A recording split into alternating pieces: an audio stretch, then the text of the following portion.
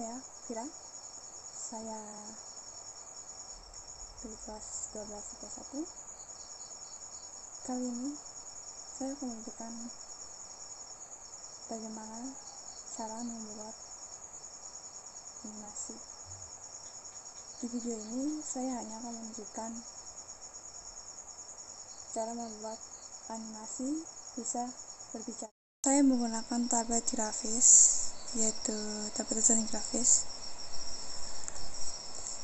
Yang seperti di gambar ini. Oke tanpa basa-basi mari kita mulai tutorialnya